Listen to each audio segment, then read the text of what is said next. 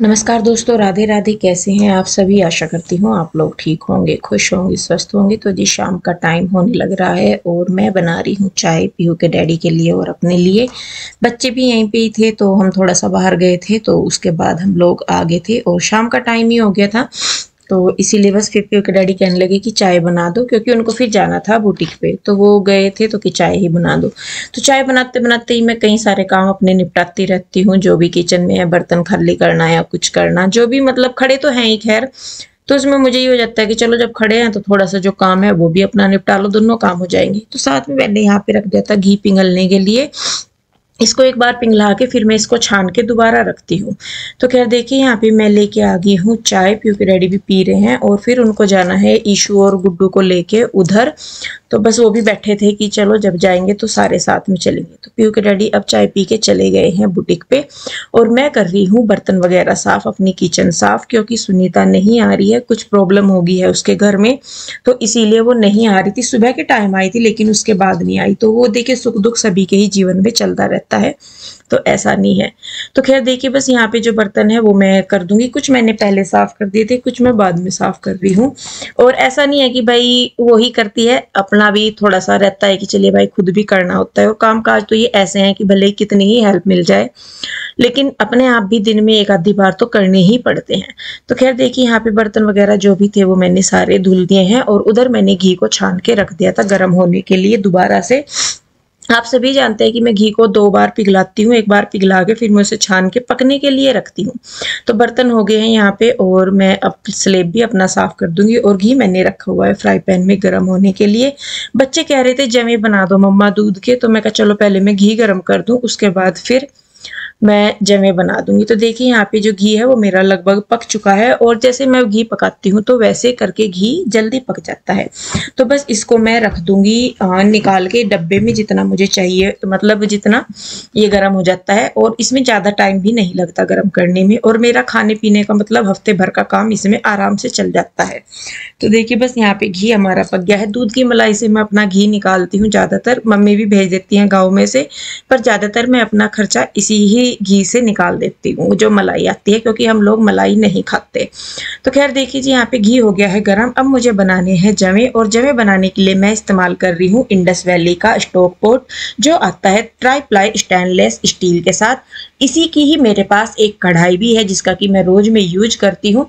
तो यहाँ पे आपको मिल जाता है ये ट्राई प्लाई का जो है स्टेनलेस स्टील का ये एक पोट मिल जाता है, जिसमें कि आप बिरयानी से लेके, मिठाई से लेके या कुछ भी बना सकते हैं, क्योंकि अच्छी खासी कैपेसिटी है ट्राई प्लाई के साथ आता है, जिसमें कि खाना पकाना बहुत आसान होता है इवन हीट लगती है इसमें।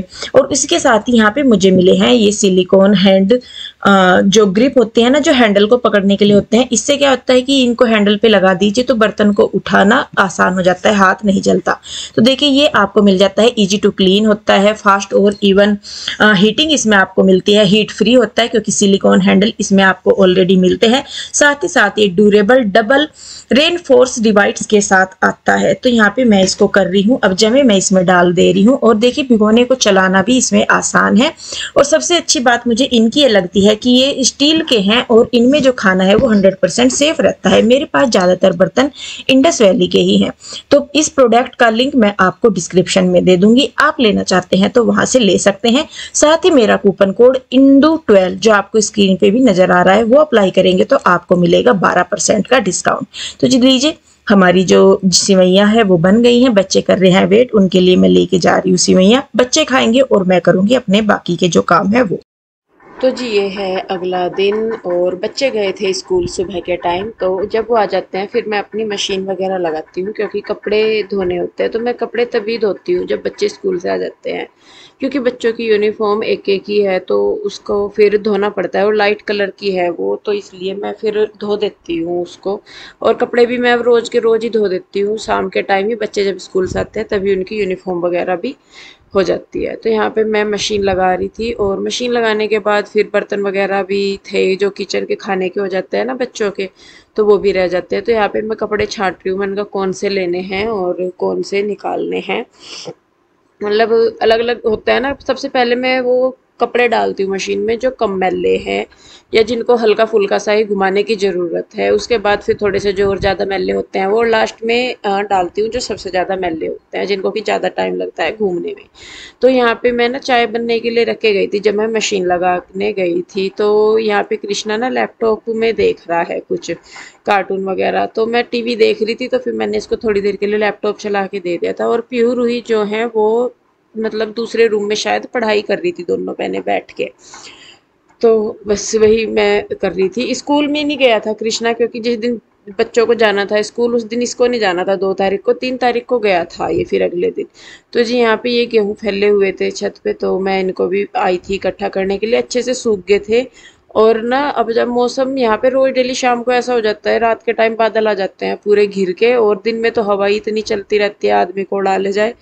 तो इसीलिए बाहर कोई भी चीज़ रखने का नहीं है। मतलब भले ही हो ना, लेकिन मौसम ऐसा होता है कि कभी भी बरस जाए या कभी भी आंधी तूफ़ान आ जाए तो इसीलिए मैं अपने काम को इस तरीके से लेके चलती हूँ कि अगर हो भी रहा है तो मुझे टेंशन ना हो, क्योंकि एक दिन रात को मैंने कपड़े बाहर छोड़ दिए थे, मौसम था नहीं ऐसा कि मतलब ख़राब हो। और उस दिन क्या हुआ कि रात को ही बादल आ गए और बारिश शुरू हो गई। अब मैं रात को भागी फिरी दो ढाई बजे के करीब, मैं कहा, ये तो गजब हो गया। उस दिन से फिर कान पकड़ ले, मैंने कहा, नहीं भाई पहले जो काम है बाहर, भले ही फिर बाद में कर दूँ मैं, लेकिन अपने काम को भाई टाइम पे रखो टाइम रहते हुए कर लो। और ये तो है ही, देखिए जी, ये तो एक नॉर्मल सी चीज़ है कि टाइम रहते अपने जो काम हो जाए वो ज़्यादा सही है, क्योंकि बाद में तो फिर वही है कि खाना पूर्ति से वाला ही होता है और बस इसीलिए मैं अपना कोशिश करती हूँ। तो यहाँ पे देखिए, मैं आ गई थी कपड़े निचोड़ने के लिए और कृष्णा को ना बहुत शौक है पानी में भीगने का। सर्दियों में भी अगर इसको नहाने के लिए बोलते तो नहाना नहीं इसे, लेकिन पानी में ये सोचता है कि मैं डूब जाऊँ, पानी में भीगते हुए इसे ठंडी लगती। तो यहाँ पे ये देखिए, हो रहा है पूरा परेशान कि मम्मा बस किसी तरीके से मुझे यूँ कहते हैं कि तू पानी में भीग जा अच्छी तरह। और ये सुबह को भी नहा के जाते हैं बच्चे मेरे तीनों और ये स्कूल में से आके भी नहाते हैं क्योंकि अब मौसम में देखिए गर्मी पूरे अपने उस पर हो गई है और स्कूल में से आते हैं ना तो बिल्कुल पसीने की स्मेल से तो देखिए आती रहती है तो इसीलिए बच्चे फिर आके भी नहाते हैं। तो यहाँ पे देखिए, बस मैं कपड़े निचोड़ लूँगी फटाफट से और साथ के साथ ही मैं क्या करती हूँ, मैंने मशीन लगा देती हूँ। जैसा तो कपड़े धोए जाते हैं पहले ही तो फिर बाद में मैं सारे निचोड़ती हूँ। जब लास्ट का राउंड रह जाता है ना, उस तब मैं कपड़े निचोड़ती हूँ। नहीं तो ये क्या होता है कि फिर खड़े रहो, लारे लगे रहो यहाँ पे तो उसमें और काम भी नहीं हो पाते। तो इसीलिए मैं क्या करती हूँ कि सारे कपड़े धोके जो लास्ट राउंड रहता है ना, तब मैं फिर कपड़े निचोड़ती हूँ। और जो कपड़े उल्टे करने के होते हैं, वो मैं नीचे ही उल्टे करके तब लेके जाती हूँ ऊपर फैलाने के लिए भी। और रस्सी मैं सोच रही थी, मैंने कहा नीचे ही फैला दूँगी। हालाँकि ये वीडियो आपको बाद में मिल रहा है, रस्सी पहले वीडियो में बंद भी चुकी है। तो ये वीडियो आपको जो है, थोड़ा लेट मिल रहा है उसके लिए सॉरी तो देखिए जी, बस यहाँ पे कपड़े धो धो के मैं फैला भी सॉरी उतार के भी रख रही हूँ। पहले मैं सोच रही थी, मैंने कहा फैला भी दूँ, शायद हवा से निकल ही जाते हैं, क्योंकि मौसम ऐसा है ना कि सूख जाते हैं जल्दी। लेकिन पीछे पेड़ को पे पत्ते देख के आप समझ ही रहे होंगे कि हवा कितनी चल रही है। तो मैं बस फिर मैंने रिस्क नहीं लिया। मैंने कहा मौसम कभी ख़राब हो जाए, फिर रात को उतारने पड़ेंगे। तो मैंने बस फिर धो धो के ना इनको निचोड़ के सुखा के ड्राई करके रख दिए थे। तो देखिए, मशीन में से भी पानी मैंने निकाल दिया पहले मेरी मशीन में से ना पानी मुझे वो जो स्विच होता है ड्रेन वाला, वो पकड़ के रखना पड़ता था।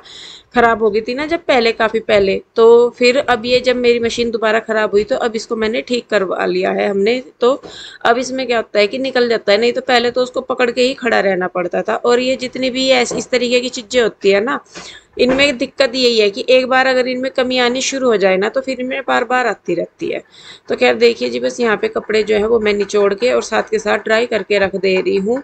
और बस मेरा काम जो है कपड़ों का वो निपट जाता है। अब क्योंकि देखिए, खुद करना होता है तो चीज़ों को फिर अलग मैनेज करना पड़ता है अलग तरीके से।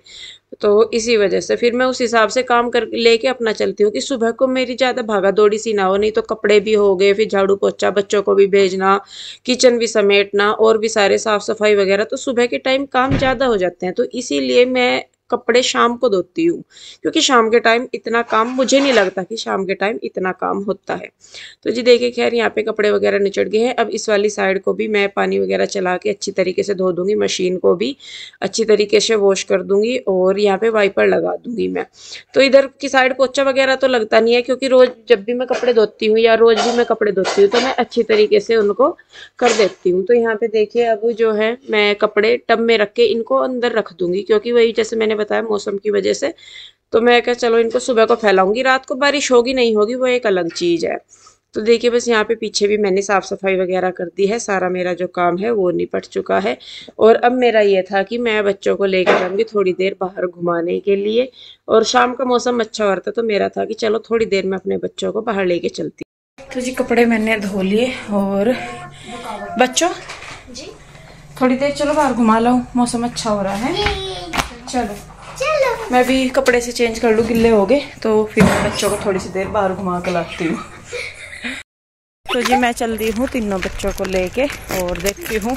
ज़्यादा दूर तो जान जाने का थोड़ी सी दूर जाकर घुमा सी कर ले आऊँगी। असल में मौसम अच्छा हो रहा है और बच्चे सुबह से स्कूल में से आके थोड़ी देर टीवी देखा, फिर अपनी पढ़ाई में लग गए थे। मैं भी अपने काम से में ही लगी रही थी। मैं कल चल, थोड़ी सी देर बाहर को घुमा लाऊँ, मौसम शाम के टाइम अच्छा हो जाए और मोर देखेंगे मोर। मोर तो दूर है बेटे वहाँ तक नहीं जाना। यहाँ से चक्कर सा काट कर आ जाएँगे इधर को बस ज़्यादा नहीं दूर जाते नहीं बेटे तेरे डैडी होते तो फिर तो दूर चले जाते। अकेली नहीं मैं तुम्हें लेकर जाने की दूर। तो जी चलिए बस फिर। देखते हैं कहाँ तक घुमा जाएगा। इसमें गाड़ी में टक्कर पीयू थोड़ा तेज सी चल बाबू। स्पीड पकड़।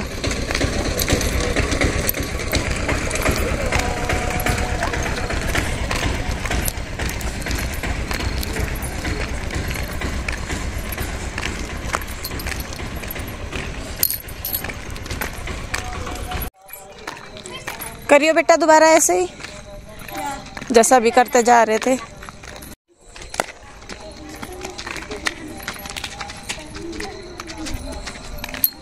इधर कृष्णा सड़क के बीच में नहीं, प्यूर हुई सड़क के बीच में नहीं। सड़क के बीच में नहीं बेटे, साइड हटो। इधर। मुझे तो आने दो, कहाँ जा रही हाथ हिलाती हुई दोनों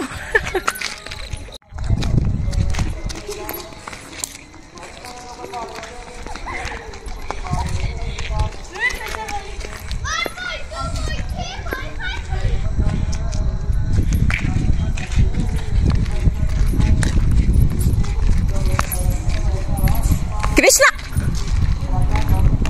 रुकता तो नहीं तू इस पे ना चढ़े बेटे जिनकी है पकड़ लेंगे तुझे अंदर ही बंद कर देंगे पकड़। प्यूर हुई साइड में। इतनी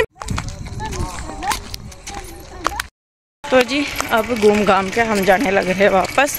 दस पंद्रह मिनट घूम लिए और बस इतना ही बहुत है। हवा सी लग गई ताजी सी। फ्रेश फ्रेश सी। हाँ चल। थोड़ी सी और दूर चल लिए तू। तो बस जाके अब जा फिर देखूँगी। एक तो वीडियो वगैरह एडिट करूँगी जाके फिर खाना वगैरह बनाऊँगी। और बच्चों के सुबह की भी तैयारी करनी कि सुबह को बच्चे स्कूल जाएँगे और सुबह को ये ये ये भी जाएगा। क्या लेके जाओगे बताओ? ए ए। इधर इधर को निकल लो थोड़ी सी। रूही मैंने पूछ रही सुबह को क्या लेके जाना? आलू फ्रास बीन बना दू। आलू फ्रास बीन चलो सुबह को बनाना है आलू फ्रास बीन तो रात को ही काट के रखनी पड़ेगी फ्रास बीन क्योंकि उन्हें काटने में टाइम लगता है।